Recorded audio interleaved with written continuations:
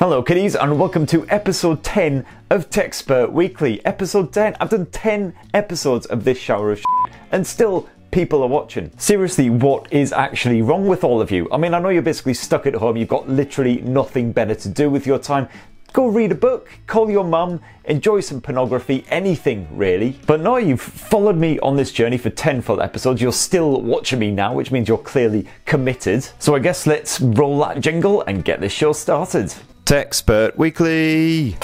Okay, so let's start as ever with this week's tech news, and it is a little bit thin on the ground uh, this week, just like my ever receding hairline. Uh, but a few interesting little bits have trickled out, just like those troublesome final drops as you tuck Mr. Happy away after a really satisfying wee. So, first up, of course, some absolute heads have been going around setting fire to 5G masts, claiming that this fresh new technology is responsible for basically everything that's wrong with modern life, including that good old virus that's keeping us all housebound. Or rather, these prize critics actually thought they were setting fire to 5G masts. Turns out some of them weren't actually 5Gified at all. And the problem here, no doubt, is that a lot of these raging quits can't even count to 5, let alone tell which ones are 5G and therefore are bad and need to be burned to the ground. Uh, in happier news though, earlier this week TCL also revealed its fresh new range of 2020 smartphones would actually be coming to the UK, great news, and hopefully they'll be hitting here by summertime. The TCL 10 Pro is the most show-offy of the three new handsets, boasting a 6.5 inch AMOLED screen,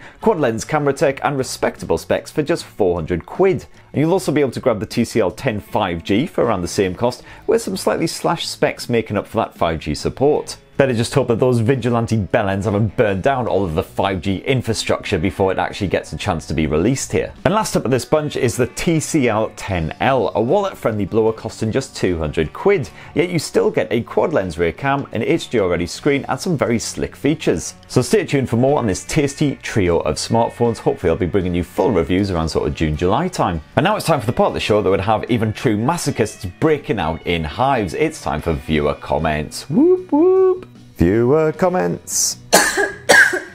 So first up, there's been lots of correspondence about the Sony Xperia 1 Mark II, of course, which got mentioned in the previous show. Uh, still no official word from Sony on the actual launch date or anything like that. Here's hoping fingers crossed and everything else crossed as well uh, for around sort of May time. Uh, first comment of the week, in my opinion, Sony needs to be quick about the Xperia 1 Mark II or else it'll be too expensive when it gets released at full price compared to the OnePlus 8 or of course to a discounted S20. Probably will be discounted given another couple of months or so. Um, yeah, it is true, the longer Sony leaves it, the less impressive it will be when it eventually arrives, especially as the first lot of Snapdragon 865 handsets are actually rolling out across the world now. Just gotta hope that that camera tech is truly next level stuff to really smash all of the competition to bits. A couple of peeps interestingly asking me if I'd be tempted to do a live stream at all here on Tech Spurt, and the answer is a resounding yes. I've actually been looking for an excuse to do some kind of live stream because I used to do it all the time back in my Recombu days, and I really enjoyed chatting with you, fine fork, of course, and I reckon the OnePlus 8 launch next week is the perfect excuse to do one. I'll talk a bit more about it at the end of the show though when we'll discuss what's coming up in tech next week. Uh, next up for festival slash gig photos, low light and distance photos, videos, and one-handed mode as well. What budget blower should I buy? Currently thinking about the Realme 6 Pro.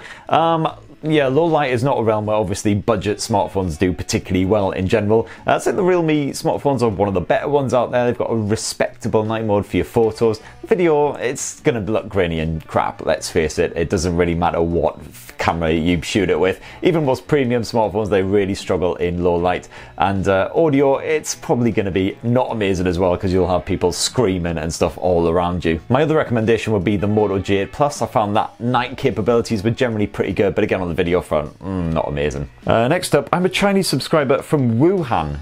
Jesus He's me complaining about being stuck in the house all day. This guy is living it in ground zero, man. Jesus. Really hope things are getting better there, buddy. Definitely uh, best wishes going out to you and to everyone else over there who's, who's still in an area that's heavily affected by all of this shiz that's going on. It's just crazy times. Fingers crossed we'll be over the worst of it soon. Uh, the quarantine will be over soon. Can't wait to buy the new OnePlus 8 Pro. Uh, love your weeb post tech review.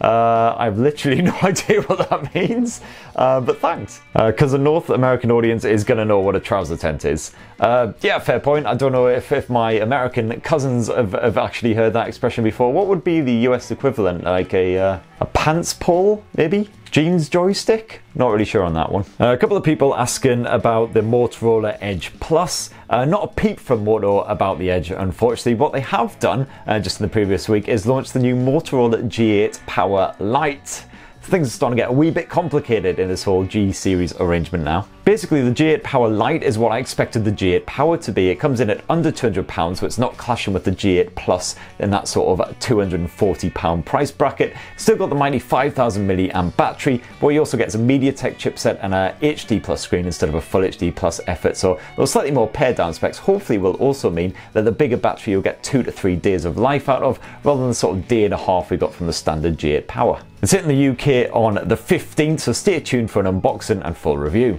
Motorola man, keeping me busy, that's for goddamn sure. Uh, next up, Tech Spurt is awesome. Thank you, I agree.